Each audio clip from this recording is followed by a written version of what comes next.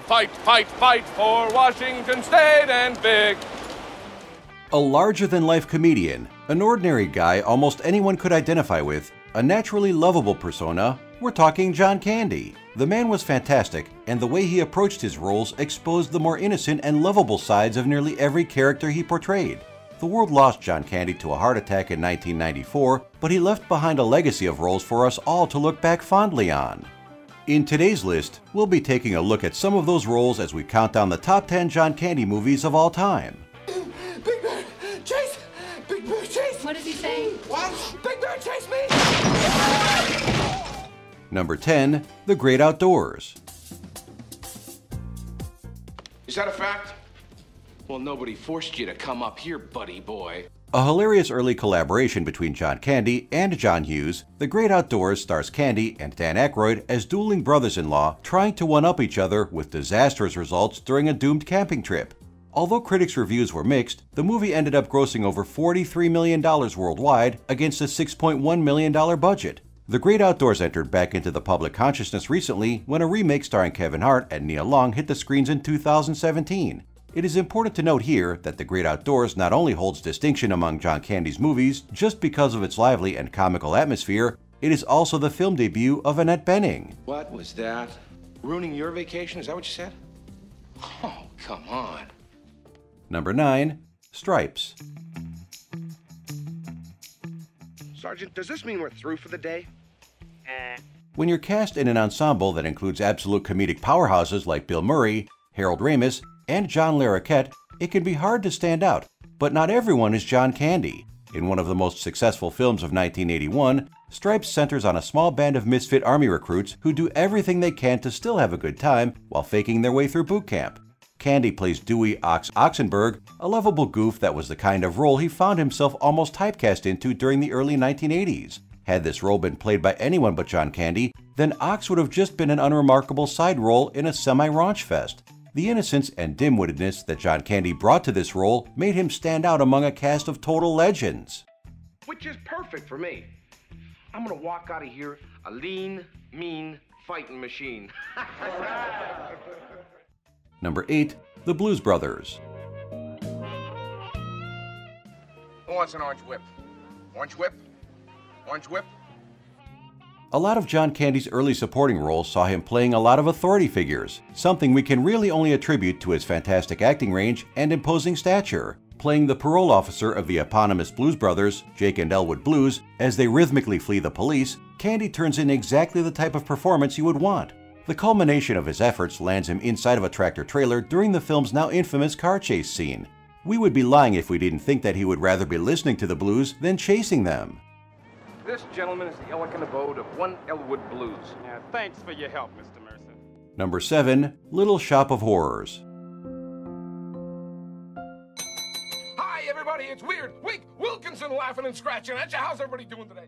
John Candy's appearance in this black comedy musical from director Frank Oz is very short but extremely memorable. Serving as a screen adaptation from the 1982 musical with the same name, Little Shop of Horrors tells the story of Audrey II, an alien plant with a taste for blood. Candy pops up in the movie's second act as the host of the Weirdo radio show, Wink Wilkinson's Weird World, which features items that can only be described as weird.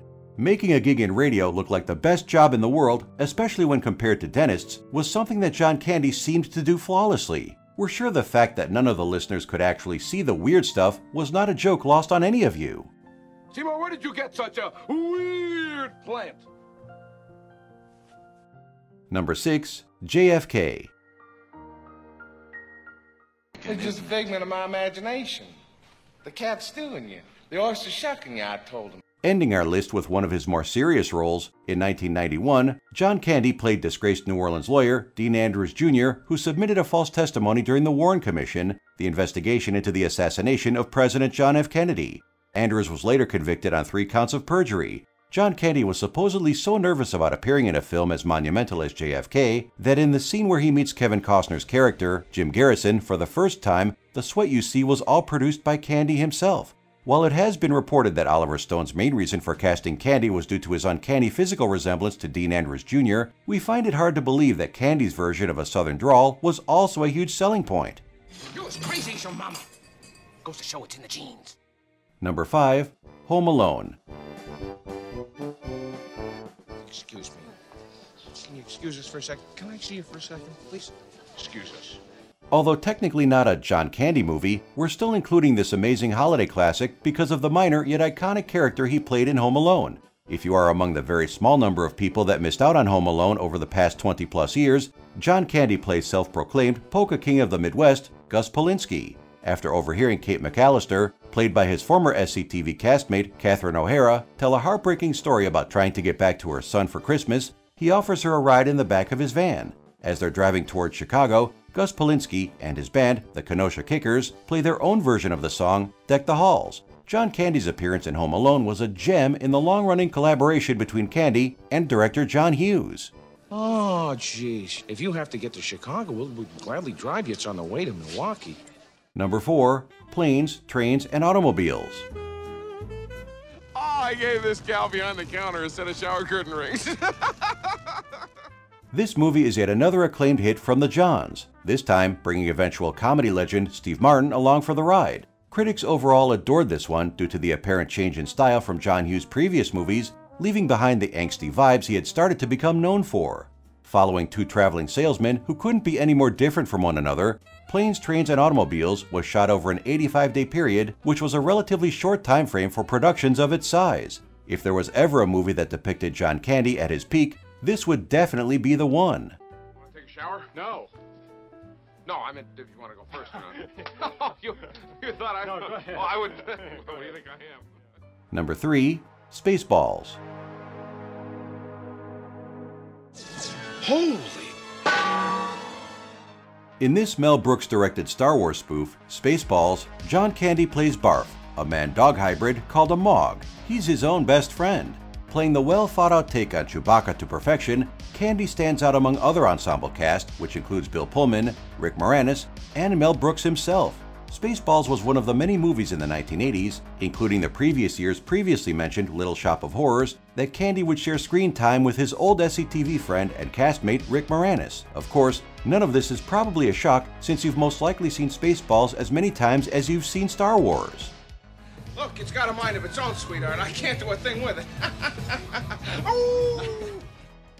Number 2. Cool Runnings.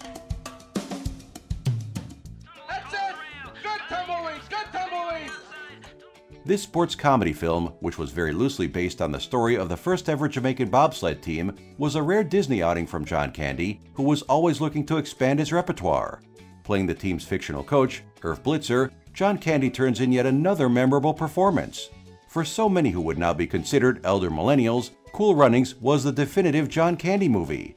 Coming out at a time when sports comedies like The Mighty Ducks and The Air Up There were just as rampant as Marvel movies are today, Cool Runnings received high praise among both critics and fans. Much of this was due to the fact that, even though it did follow a few tropes, Cool Runnings didn't feel as formulaic as some of its counterparts. Thanks, Irv. Thank you.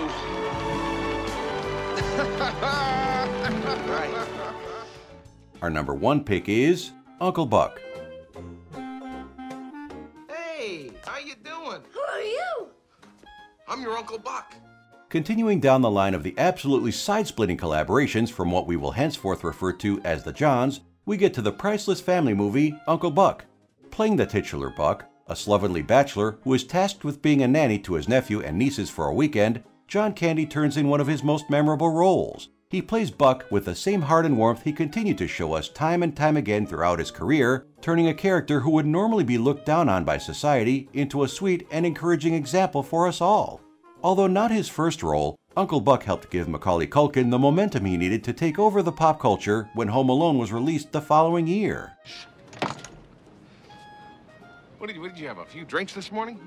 Do you agree with our list? Don't forget to subscribe to our channel and be the first to receive new top 10 videos from Stream TV.